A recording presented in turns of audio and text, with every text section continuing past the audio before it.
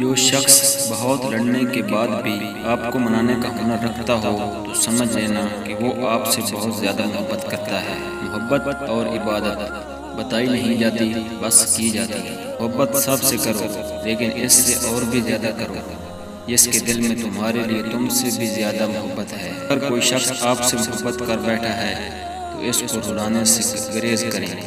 क्यों ना कि इसकी आँखों से आँसू नहीं। बल्कि कतरा कतरा करके आपकी मोहब्बत बह जाए। खामोशी से की गई दुआ और मोहब्बत दोनों ही बहुत ताकत रखती है। और मोहब्बतें ज़िंदगी में इस वक्त मिलती हैं जब हमें इनकी ज़रूरत नहीं रहती जिसको तुमसे सजीब सच्ची मोहब्बत होगी। वो तुम्हें फजूल और नाजायज़ कामों से रोकेगा। जैसी मोहब्बत तुम अपने माँ बाप से करोगे, वैसे ही मोहब्बत तुमसे तुम्हारी औलाद करेगी। किसी को सिर्फ़ चाहना मोहब्बत नहीं, बल्कि इस ज़ात के तमाम पहलुओं को तस्लीम करना मोहब्बत है। मोहब्बत की पहली शर्त इज़्ज़त है, और जो इज़्ज़त नहीं दे सकता, वो सच्चा प्यार भी नहीं दे सकता।